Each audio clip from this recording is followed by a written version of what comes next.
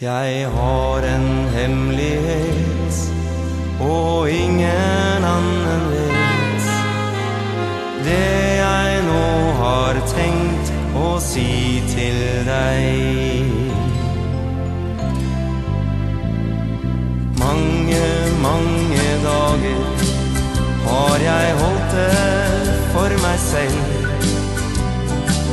Skrevet i min dagbok mange uker hver en kveld.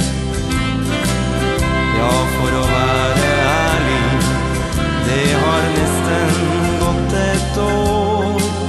Nå først har jeg mot, jeg håper du forstår.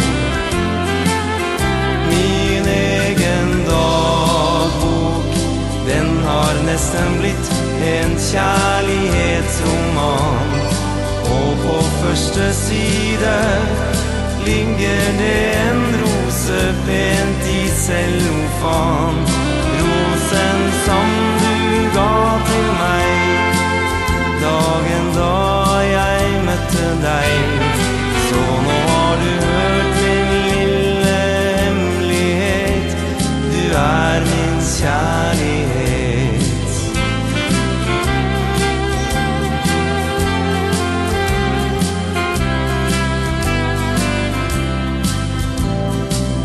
Det jeg har fortalt, er noen linjer fra et brev.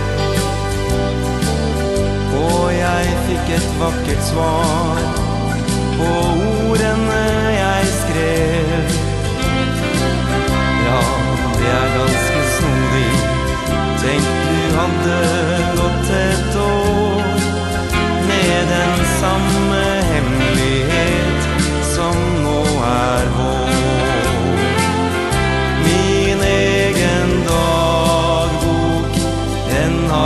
nesten blitt en kjærlighetsroman.